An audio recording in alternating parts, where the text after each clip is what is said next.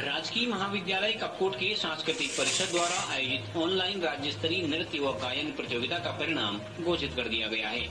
प्रतियोगिता के नृत्य वर्ग में कनिष्का पांडे ने प्रथम तो गायन में, रजत पांडे ने प्रथम स्थान हासिल किया है।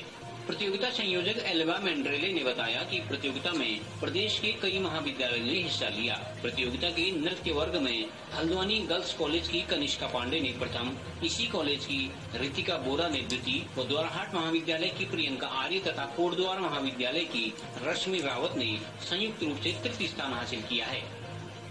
गायन प्रतियोगिता में पिथौरागढ़ के रजत पांडे प्रथम, बागेश्वर की प्रिया आर्य तथा गर्ल्स कॉलेज हल्द्वानी की ज्योति बोरा ने संयुक्त रूप से द्वितीय स्थान तथा सोमेश्वर महाविद्यालय के करण सिंह बिष्ट ने तृतीय स्थान हासिल किया है।